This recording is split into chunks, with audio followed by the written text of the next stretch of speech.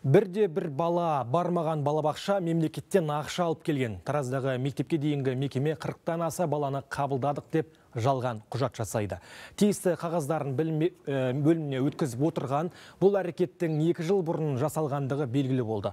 Балабақша басшысы 13 миллион теңгені қалтаға басқан дейді қалалық прокуратура өкілдері. Енді ол жымқырған қаржыны қайтарса да жазадан құтылмайды. Күдікті уақытша тергеу абақтысына қамалды.